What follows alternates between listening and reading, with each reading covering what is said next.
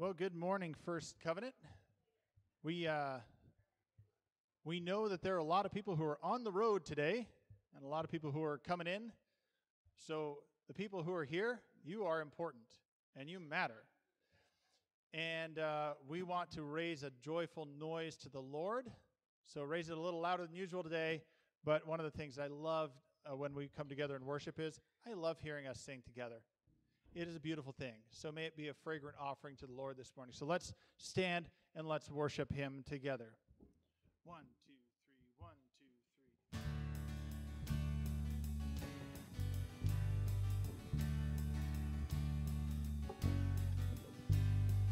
Praise to the Lord, the Almighty, the King of creation. Oh, my soul, praise him, for he is thy health and salvation. Come, all you here, now to his temple draw near. Join me in glad adoration.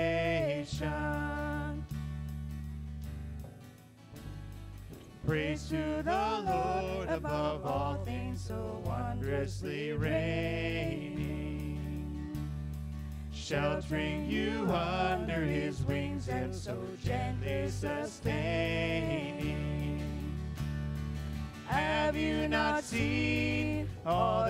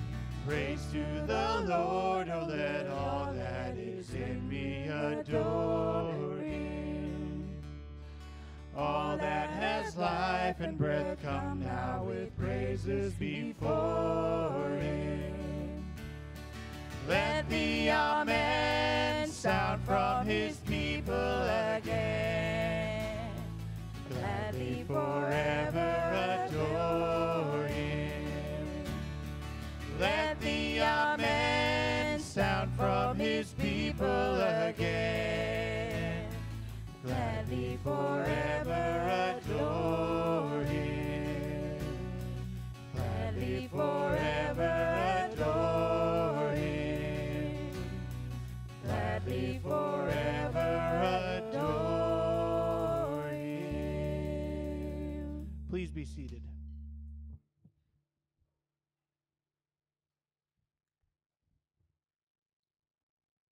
As I said, welcome. Good morning. You're at First Covenant Church. Um, I'm Pastor Evan. We are disciples who make disciples. Happy Father's Day to those watching online and in person. We're glad that you've joined us today, and we are grateful for our Heavenly Father who is good and is good to us all the time. Um, if you're a guest this morning, uh, please uh, grab a notebook at the back and let us know about your visit by going to our Sunday page online. And uh, a couple things upcoming and noteworthy for today and ahead. One is Sunday school is offered today for all ages. We have adults upstairs, as usual, kids downstairs with uh, movie discussions. Um, we also have the addition of the mission and ministry class today for those who are newer to the congregation. That's over there through that door if you're joining us for that. One thing that uh, came out this week, though, that I just want to put across your uh, horizon here right now, and we'll hear more about it next week, is there are some flyers in the back for five day clubs. Child Evangelism Fellowship and Kids First uh, have partnered together to do these um, a couple times this summer, and then uh, Kids First is actually using some of the curriculum beyond that. Um, but I want to put it on your radar now because June 26th through 30th is the first one. Um, this one is in the afternoon, 3 to 4:30. There's a little bit of it that functions a little like a vacation Bible school, but not quite. Um, and Child Evangelism Fellowship will have people there to work, but they've asked that we actually send some folks down to volunteer too, which I think would be great to be able to experience that and, and join into what's going on. So it's very evangelistic. Uh, that's in the name, very biblical uh, in curriculum, uh, teaching, singing, all the fun stuff. Um, so if that's at all of interest to you, just put it on your calendar now. Grab a flyer in the back so you can uh, mark that. And we have a representative from CEF coming next Sunday to tell us a little more and kind of uh, let us know if you have further questions what's involved in that. You can sign up that way or even let me know today if you want to be a part of it. The other thing I wanted to note is um, uh, we recognize that uh, this coming Monday is, uh, many of you have off for Juneteenth. And uh, that's one of those that is a, in some ways, a, a new holiday in being recognized officially. But, um, you know, this was a moment when slaves didn't know they were free. And all of a sudden they found out. And I think there's something important, one, to recognize that in our national uh, uh, history, but there's also something important to recognize that when you hear God's word. That sometimes we think we're free when we're not.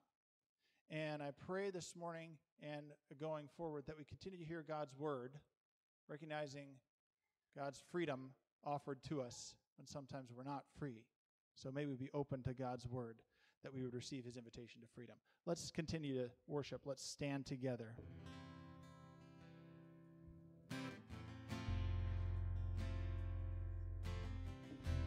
Oh, excuse me, I'm supposed to do this first. I'll read the, fir- the words on top, you read the words on bottom. O God, the Holy Spirit. Come to us and among us. O God, the Holy Spirit. As the and clean us. O God, the Holy Spirit. Come as the fire and burn. O God, the Holy Spirit. Come as the dew and refresh. O God, the Holy Spirit. Complete, convert, and consecrate many hearts and lives. To our great good and, our, and your greater glory. And, And this this we ask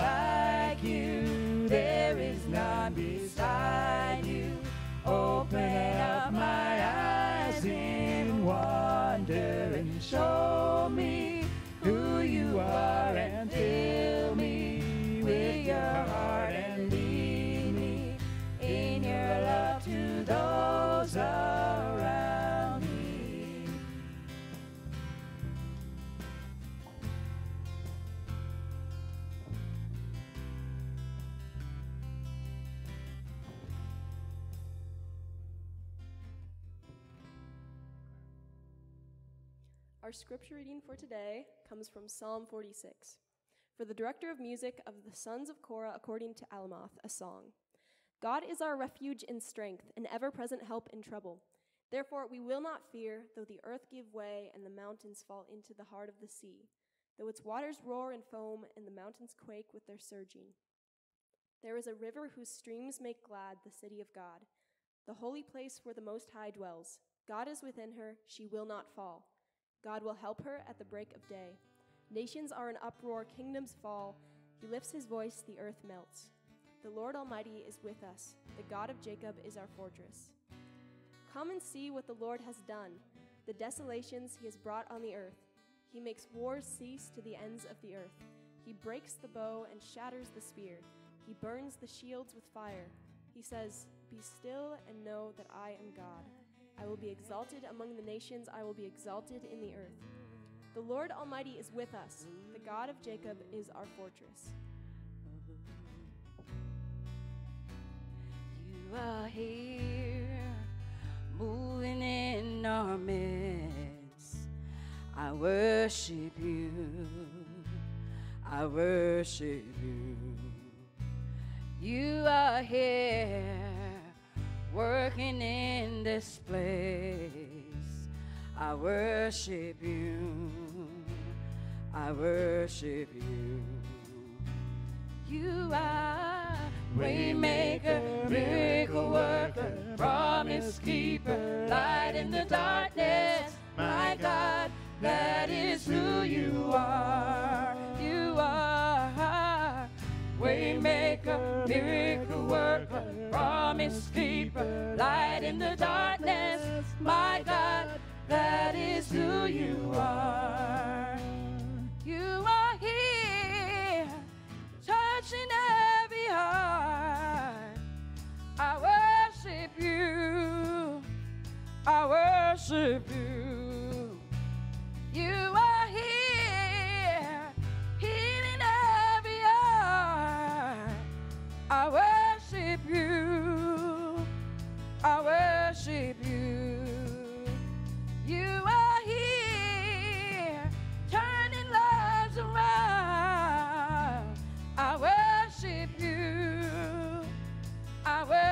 worship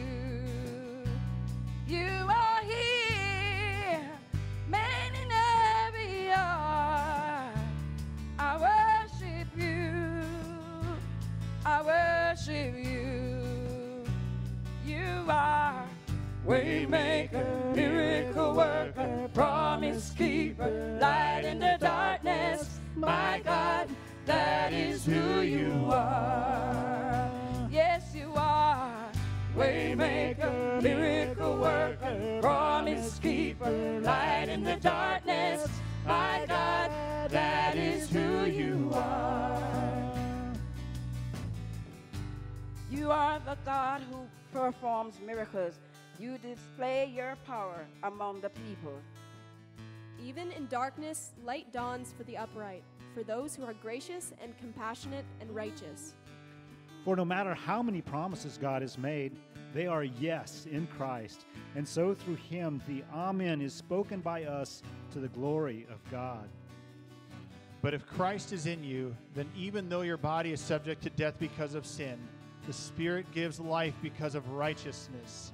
And if the Spirit of Him who raised Jesus from the dead is living in you, He who raised Christ from the dead will also give life to your mortal bodies because of His Spirit who lives in you. The Lord is not slow in keeping his promise, as some understand slowness.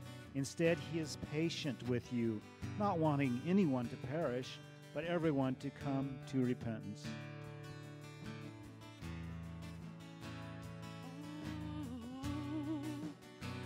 You are waymaker, miracle worker, promise keeper, light in the darkness. My God, that is who you are. Yes, you are. You are waymaker, miracle worker, promise keeper, light in the darkness. My God, that is who you are.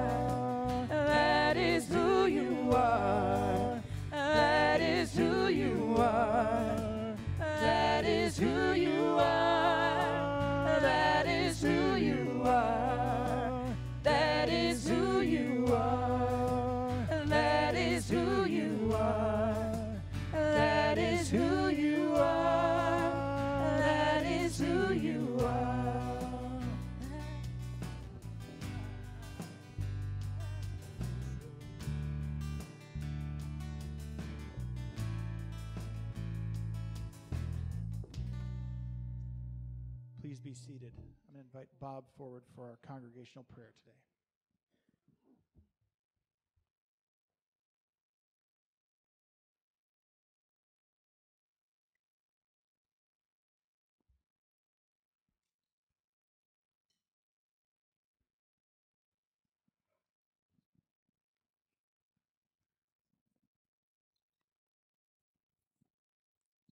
Good morning. We're going to spend just a little time in prayer together.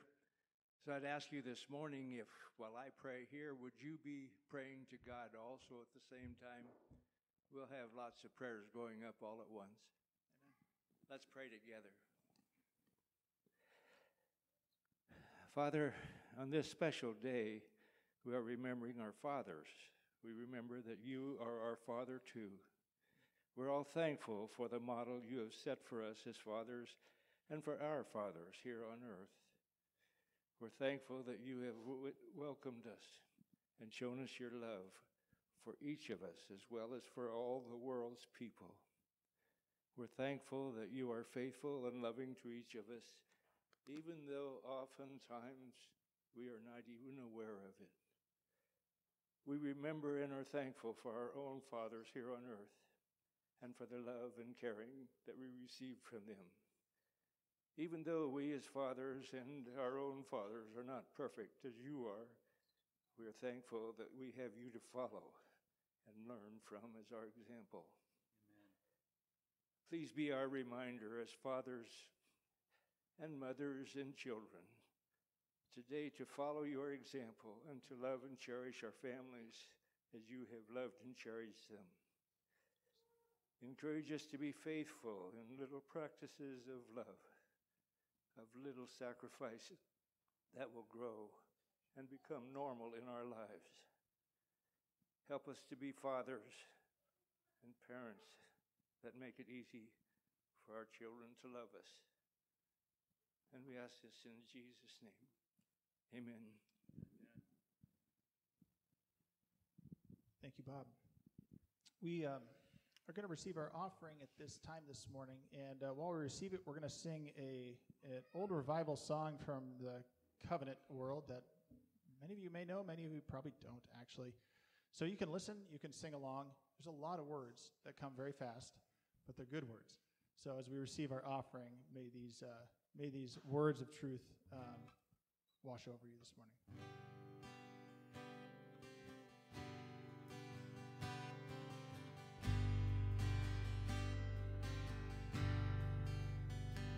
Oh, let your soul now be filled with gladness, your heart redeemed, rejoice indeed. Oh, may the thought banish all your sadness, that in his blood you have been freed, that God's unfailing love is yours, that you the only Son were given. That by his death he has opened heaven, that you are ransomed as you are. If you seem empty of any feeling, rejoice you are his ransom bride. For those who cherish seem not to love you, in dark assails from every side. Still yours a promise, come what may, in loss and triumph and laughter crying. In want and riches and living dying, that you are purchased as you are. It is a good, every good transcending that Christ has died for you and me. It is a gladness that has no ending, therein God's wondrous love to see. Praise be to you, O spotless Lamb, who through the desert my soul are leading. To that first city of joy exceeding, for which you bought me as I am.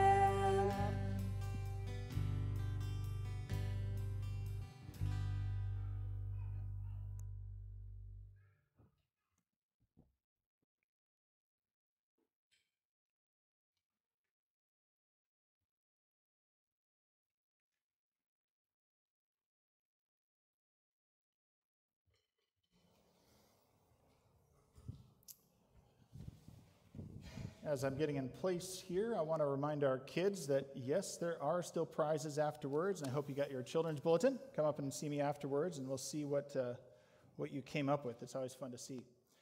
Um, we're in the book of 1 Timothy. I invite you to find 1 Timothy. Follow along. We're going to be in chapter 1, verses 8 through 17. This will continue from where we started last week. Um, so, a lot of the same stuff um, that comes up and tying into this idea of being spiritually healthy, which I think is, is behind what's going on here. 1 Timothy 1 8 through 17. We know that the law is good if one uses it properly. We also know that the law is made not for the righteous, but for lawbreakers and rebels, the ungodly and sinful, the unholy and irreligious for those who kill their fathers and mothers, for murderers, for the sexually immoral, for those practicing homosexuality, for slave traders and liars and perjurers, and for whatever else is contrary to the sound doctrine that conforms to the gospel concerning the glory of the blessed God, which he entrusted to me.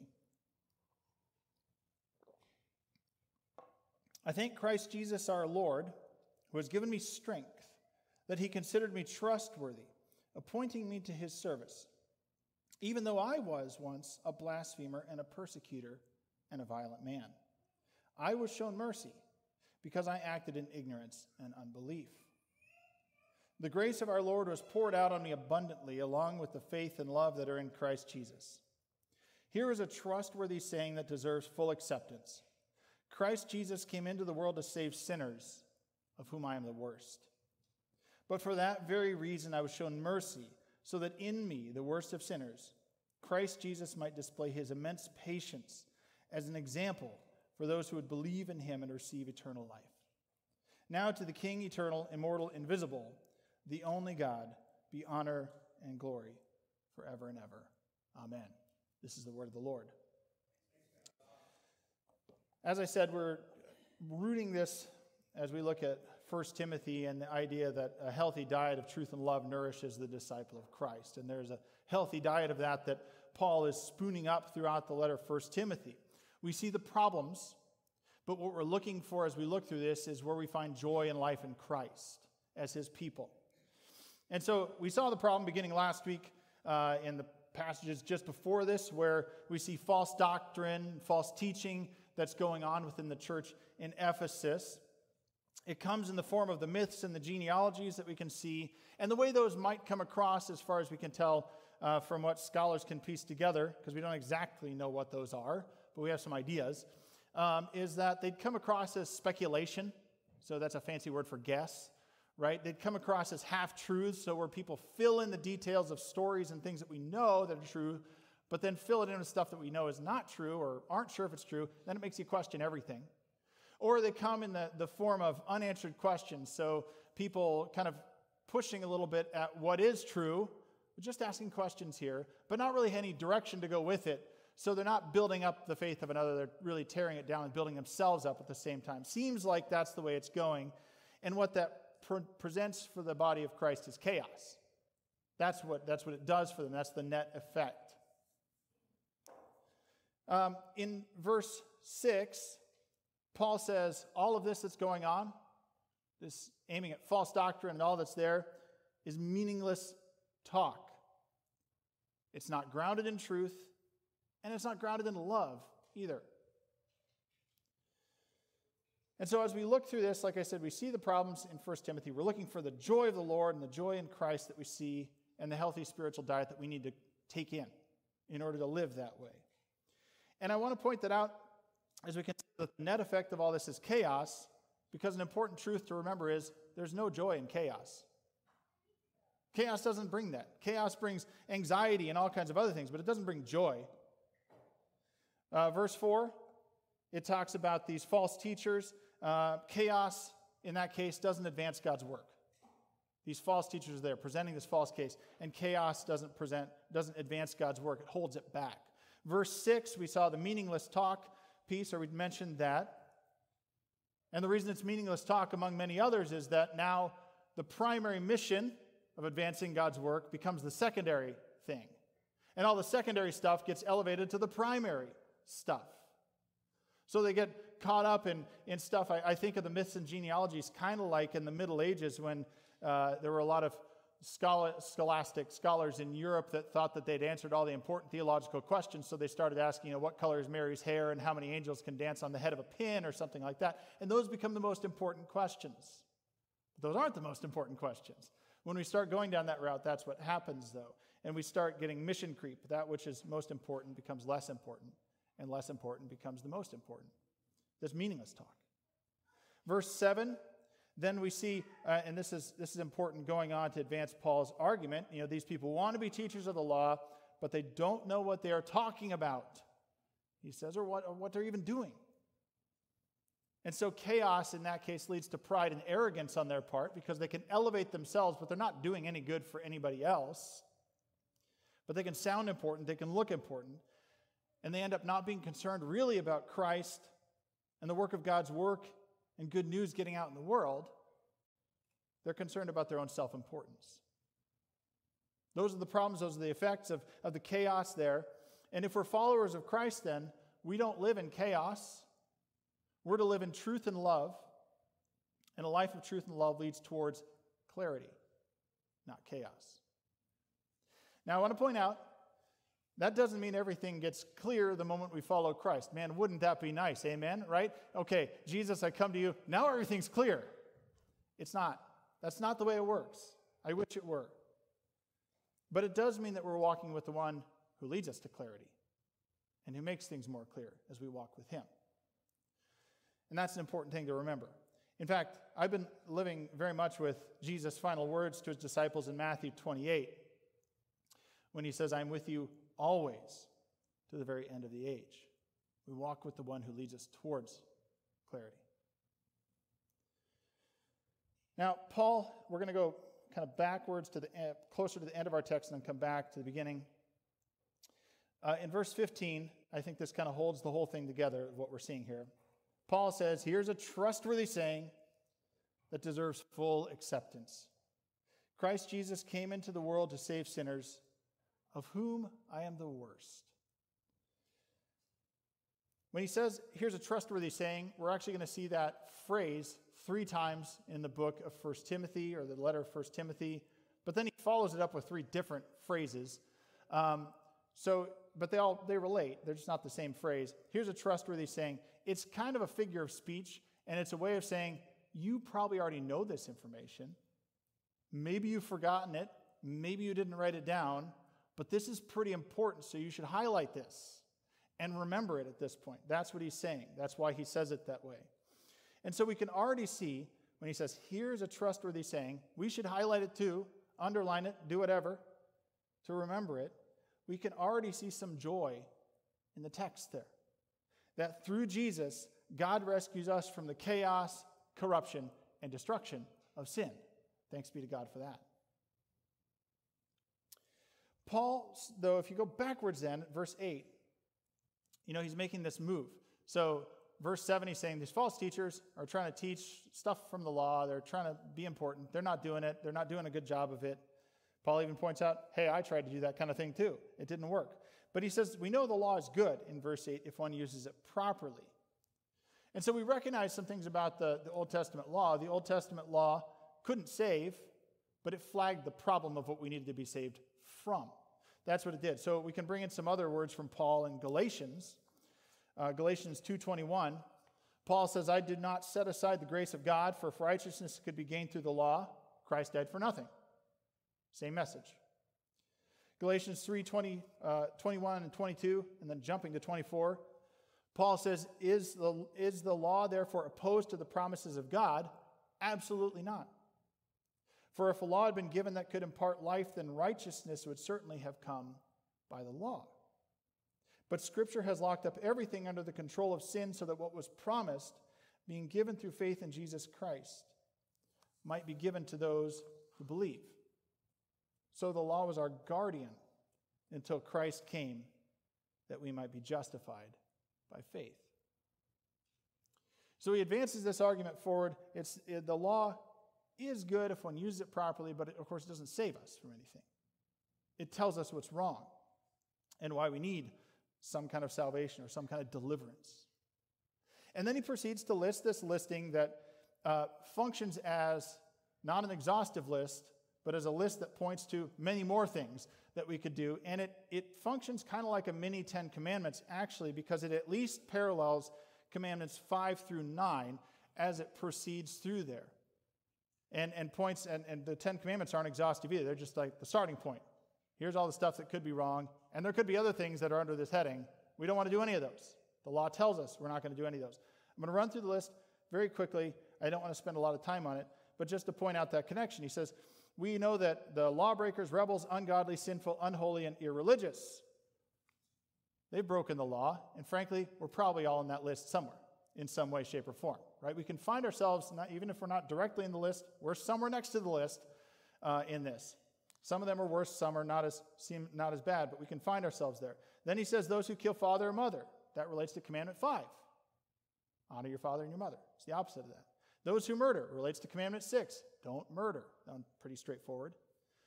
Now, the next ones, those who are sexually immoral, and my translation has those practicing homosexuality. Guaranteed your translation has something different. They all do. Relates to Commandment 7, do not commit adultery, which had a broader heading uh, in their understanding. And I only want to make a little point about this um, because I think it's, it's obviously a present issue, and I want to make a point about the word that's used there um, so that we can look at how it needs to be translated correctly. Um, there are lots of imprecise translations out there. New Testament's written in Greek. This word, arsenokoites, comes from two words that many believe Paul compounded together. Maybe he did, maybe he didn't, but that's what's happened here. Arsen meaning males, koites meaning bed, but that's a euphemism for something else. Um, and it clearly parallels the language used in Leviticus 18:22 and 20:13, which talks about, in paraphrase, a man should not lie with a man as he does a woman. That seems to be what Paul is paralleling in how he states this.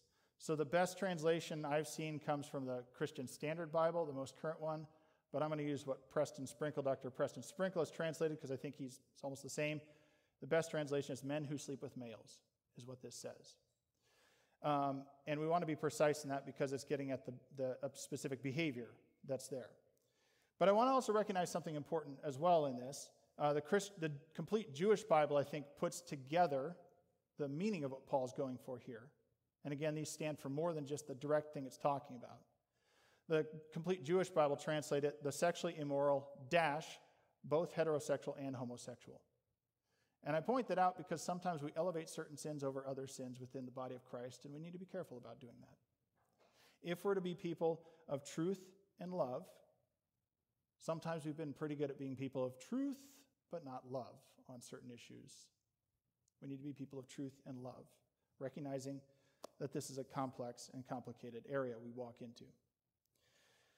Continuing on in the list, it talks about slave traders. Literally, it's kidnappers. That relates to uh, Commandment 8 do not steal. So, obviously, this is not exhaustive because we could steal other things than people. Uh, liars and perjurers are the last things on my list. Uh, that relates to Commandment 9. I think it relates to Commandment 10 too. So, Commandment 9 is do not bear false witness or testimony against your neighbor. Commandment 10, don't covet your neighbor's ox, people. That's what Commandment 10 is. Now, obviously, other things too. But if we look at all that Paul is saying here, these teachers of the law don't know what they're doing. The law tells us that we're off course, that we're doing things that are outside of the sphere of what God desires for us, that we are in this category of, of the lawbreakers, the rebels, the ungodly, the sinful, the unholy, and the irreligious. We all find ourselves in that category in various ways. The joy of what we see in the text is the demands of the law are met in Christ. That's the good news that comes out of this. And I, I want to quote Warren Wiersbe, the late Warren Wiersbe, I think says this so well of the connection between these two, commenting on this passage. He says, Law and gospel go together, for the law without the gospel is diagnosis without remedy. But the gospel without the law is only the good news of salvation for people who don't believe it because they never heard the bad news of judgment. The law is not gospel, but the gospel is not lawless. I thought he stated that so well. And I think we can recognize even more joy in this. And I'm going to pull in Romans 8 because I think this adds to the, the portrait of what we see here that the, that the demands of the law are met in Christ. Romans 8, Paul writes, Therefore, there is now no condemnation for those who are in Christ Jesus. I mean, that just starts with good news right there, right? There's no condemnation for those who are in Christ Jesus because through Jesus Christ, the law of the Spirit who gives life has set you free from the law of sin and death. For what the law was powerless to do because it was weakened by the flesh, God did by sending his own Son in the likeness of sinful flesh to be a sin offering. And so he condemned sin in the flesh in order that the righteous requirement of the law might be fully met in us who do not live according to the flesh, but according to the Spirit.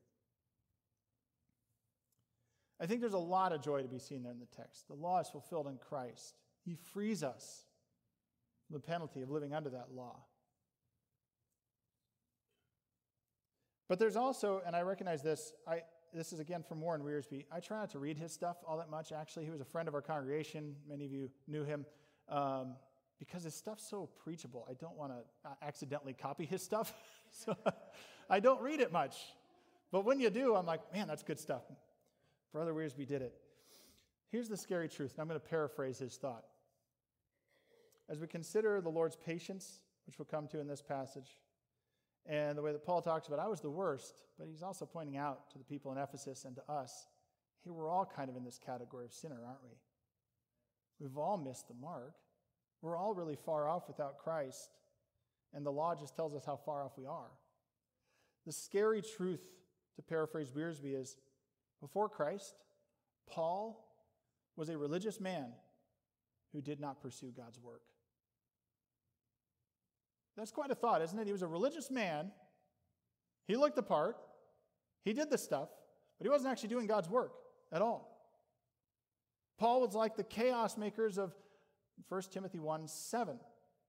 A teacher of the law who didn't know what he was talking about, but he sure looked the part. And it strikes me that we can bring that into our own context and maybe say it this way. Sometimes we can be very religious people and have no idea how to respond to the living God. I mean, all I can be too. All of us can be. God can do things, and we just don't know how to respond sometimes. We need a healthy spiritual diet, I think, to get on board and know what to do. And we need to receive Christ and, and accept that invitation and live with Him and walk with Him towards clarity to be able to understand how to respond to the living God. And so things happen in life sometimes, bad things even happen. I've experienced it, you've experienced it. And, and people, believer or non believer, will sometimes ask in those moments, Where's God in this tough moment, in this hard time?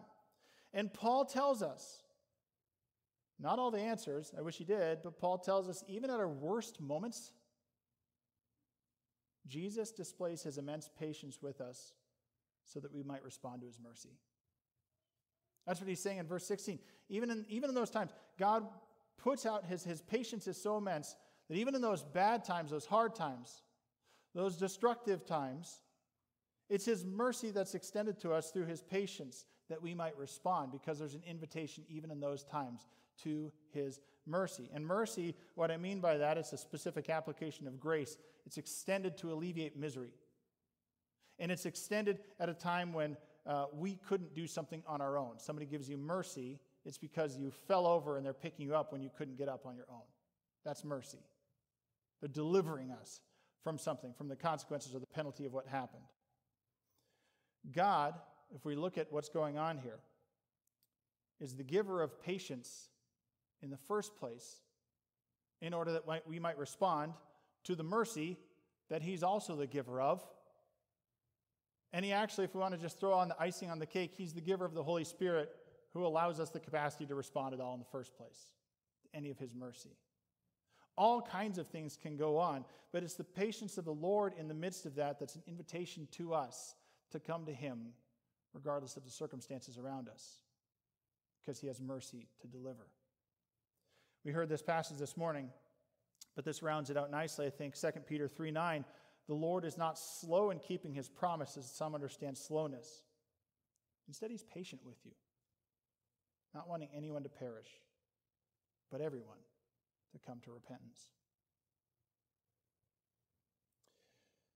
Which, as we kind of bring it to a close here, brings us to, I think, another scary question.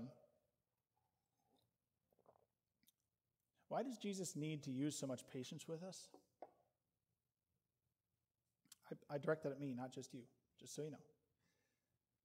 I appreciate that Paul puts himself in this category too. Paul says, I was the worst of sinners. I did all this stuff. We all need the patience of Christ extended to us. Some, some of us need the patience of Christ extended to us because we're too prideful. We don't see the need for mercy because we've put ourselves in the seat of judgment already. We've put ourselves in complete and total control. Or, in that control that we have, we are able to diagnose and judge everything else and everybody else around us, and we're really good at it, but we never turn the finger towards ourselves. We need to be introspective enough to recognize when our pride puts us in the seat of Christ instead of Christ in the seat of Christ. And this is one of those where the easiest test is when somebody brings it up, if you think they're talking to someone else, turn the finger inward at that point, right? I need to do the exact same thing. I can be prideful too. It, and, and we need to recognize we need to be introspective on this one because Christ humbles the proud so they can humbly live for Christ. But sometimes the fall from the pedestal hurts. The other thing, the other, another reason that Christ needs so much patience with us, I think, is sometimes we can be people who don't think ourselves worthy of Christ's mercy at all. We actually think too lowly of ourselves. We are so introspective, we're lost inside of ourselves, and we think, how can, I can't even love myself very well or know what's going on. How in the world can Christ do that to me? Now, before I go on with, with a thought on that, I also want to say this.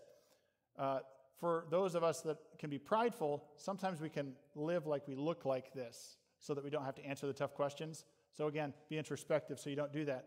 But if you think so uh, too lowly of yourself, if you're too lost in yourself to say, well, how, why, is, why would Christ even think of me? Why would he even care to think of me? Why would he even do anything? I, I don't even think that highly of myself. Remember that the immense mercy of the Lord is indeed for you. It's for all of us. There is joy in the Lord because he takes joy in his creation, including you. That's good news. And both the path of the proud and the path of the unworthy are paths that lead to chaos, not clarity. They're both dangerous paths. They're both paths like what Paul is charting out here. If we, if we simply live under the law and not under the grace of Christ and receiving his mercy. And that's why Paul says, here's a trustworthy saying. Write this down, underline it, remember it, put it in your journal. Christ Jesus came into the world to save sinners. That includes me. When we walk with him, we, lead, we can lead a life of truth and love that leads towards clarity and not chaos and be rescued because his patience is immense. Let's pray together.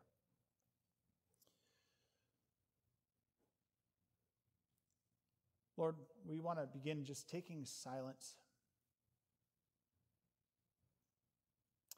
And in the silence, just looking inward and recognizing our own pride meter and our humility meter. And recognizing if we are, in fact, putting ourselves in the seat of Christ in our own lives, Lord, forgive us when we do that because we all, we all do that. And Lord, for those that aren't sure that we're worthy of your grace and your mercy, may your Spirit work and draw us to you so that we recognize that indeed in the brokenness around us, you reach in and give us mercy so that we can be made whole again. God, I'm grateful for your immense patience towards us. Let us not abuse that patience, but use it well. And receive it as an invitation to come into your presence, to live in truth and love. All this we pray in the name of your Son, Jesus. Amen.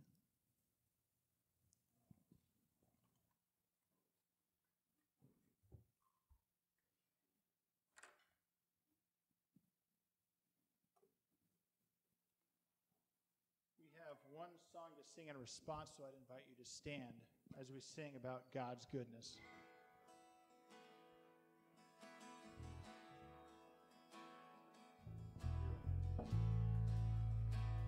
I love you, Lord. All your mercies never fails me. All my days have held in your hand. From the moment that I wake up until I lay my head, I will sing of the goodness of God. All my life you have been faithful. All my life you have been so, so good. With every breath that I am able, I will sing of the goodness of God.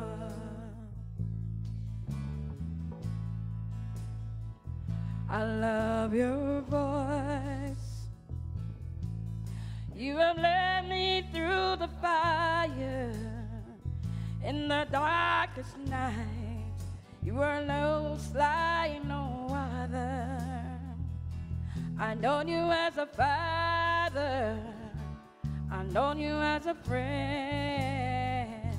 I have lived in the goodness of God. All my life you have been faithful. All my life you have been so, so good.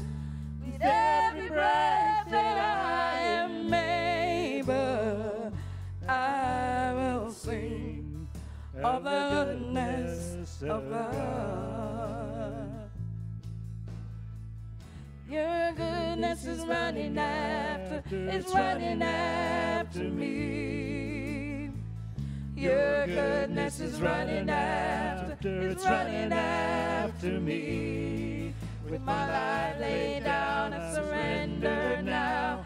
I give you everything. Your goodness is running after, it's running after me.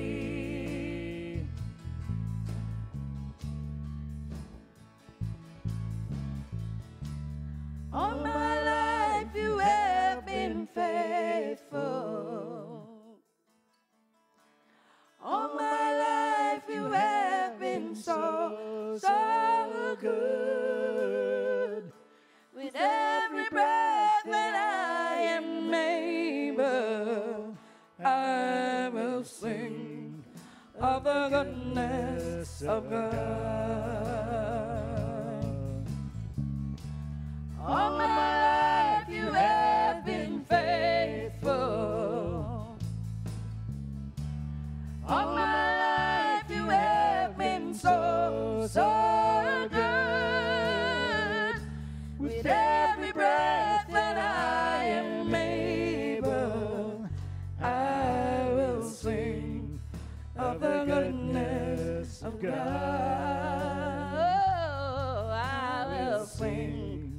of the goodness of God. From the end of our passage today, there was a benediction there. Now to the King, eternal, immortal, invisible, the only God, be honor and glory forever and ever. Amen. Go in peace.